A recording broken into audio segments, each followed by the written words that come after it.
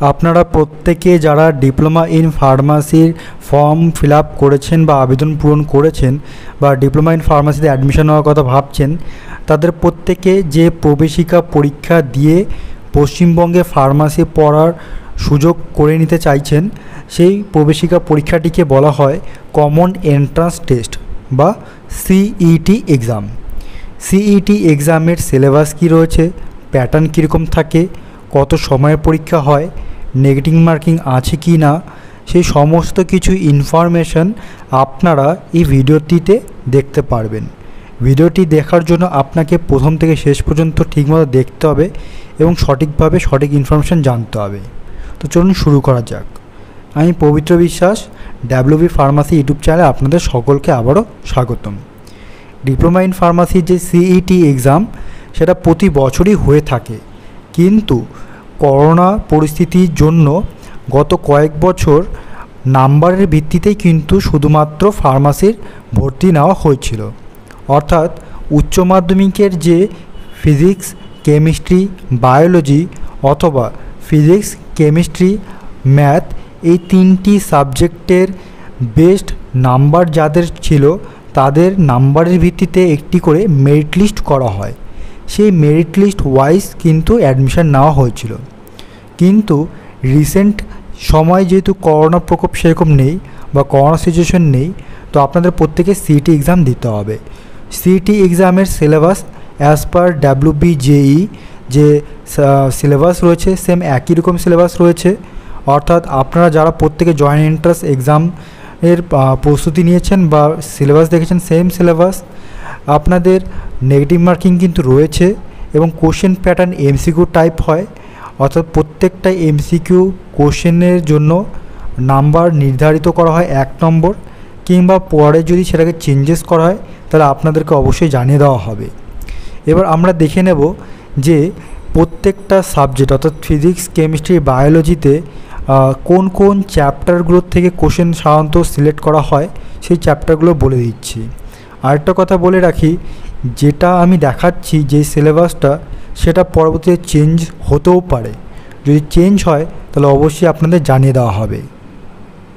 তো ফিজিক্স থেকে যেটা আপনাদের থাকে সেগুলো হচ্ছে physical world measurement unit distance kinematics motion of centre of mass connected system gravitation bulk properties of matter viscosity thermodynamics optics rays particle nature of light and wave particle duration এই সমস্ত হচ্ছে যেরকম ফিজিক্সে আপনারা যেরকম পড়তে পড়েছেন ক্লাস ইলেভেন এবং টুয়েলভ সেই ক্লাস ইলেভেন এবং টুয়েলভেরই কিন্তু অবজেক্টিভ টাইপ কোশ্চেন থাকে, অর্থাৎ MCQ question multiple choice question আপনাদের প্রত্যেকে যেটা করতে হবে ইলেভেন টুয়েলভের বইটা পারলে রিভিশন দিয়ে দেবেন।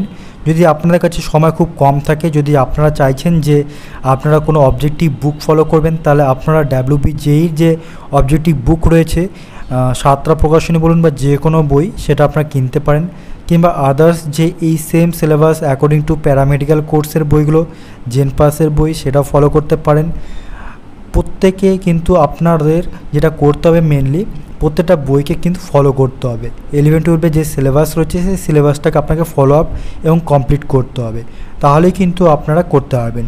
ঠিক একই রকমভাবে কেমিস্ট্রি সিলেবাসের যদি কথা বলা হয়, তো ডাব্লিউবি জেইর যে অ্যাকর্ডিং সিলেবাস রয়েছে সেম যেরকম আপনারা স্ক্রিনে দেখতে পাচ্ছেন atoms molecules and chemical arithmetic radioactive and nuclear chemistry chemical bonding and uh, molecular structure solid state gaseous state physical chemistry of solutions redox equilibria chemistry of non-metallic elements chemistry in industry surface chemistry chemistry of carbon compounds halogens and halogens aromatic compound and introduction to biomolecules.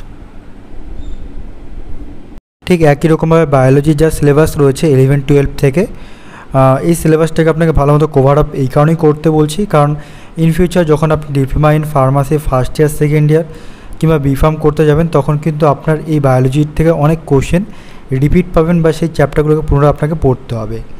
তো যেটা প্রথম chapter রয়েছে science of life chemical constitution of living cells cell division molecular basis of inheritance morphological variations and structural divisions plant, taxonomy, systematics and biodiversity biodiversity and conservation, microbes and human welfare, biotechnology and its applications. এই কয়েকটা chapter রয়েছে। যদি in future সেটাকে change করা হয়, তাহলে আপনাদেরকে জানিয়ে দেওয়া হবে। আপাতত আপনারা অবজেক্টিভ বইটাকে ফলো করুন। তো এই সিলেবাসটা ছিল। এবার নর্মালি আপনাদের মনে প্রশ্ন হতে পারে যে, দাদা, আপনি শিওর কী বলছেন যে, এটাই সিলেবাস সিইটির দেখুন সিইটির এক্সামের কী সিলেবাস সেটা অ্যাকচুয়ালি কনফার্মেশন পাওয়া যায়নি। তো আনুমানিক যে আপনাদের ইলেভেন টুয়েলভ বেসিক্সে যেহেতু ডি ফার্মের অ্যাডমিশনটা হবে, সেই কারণে এই সিলেবাসটাকে ধরে আপনাকে ফলো করতে হবে এবং অবজেক্টিভ যে বইগুলো পাবেন, সেটা কিন্তু এই সিলেবাসের উপরে কিন্তু অবজেক্টিভ কোশ্চেনগুলো বানানো রয়েছে। তো আপনারা চাইলে অবজেক্টিভ বইগুলো ফলো করুন এবং সেখানে খেয়াল রাখবেন নেগেটিভ মার্কিং কিন্তু রয়েছে। তো সেই হিসাবে আপনাদের সঠিকভাবে সঠিক অ্যান্সারটি সিলেক্ট করতে হবে। তো থ্যাংক ইউ পুরো ভিডিওটা দেখার জন্য এবং এরকম আপডেট পাওয়ার জন্য চ্যানেলটিকে আপনাকে অবশ্যই ফলো করতে হবে এবং তারপর যদি আপনাদের কোনো কোয়ারিজ থাকে বা কোনো কিছু জানার থাকে, তাহলে অবশ্যই আপনার কমেন্ট সেকশনে কমেন্ট করুন। আমি চেষ্টা করব সঠিকভাবে আপনাদের হেল্প করার এবং যত তাড়াতাড়ি সম্ভব আপনাদের প্রত্যেকটা কমেন্টের রেসপন্স দেওয়ার চেষ্টা করব।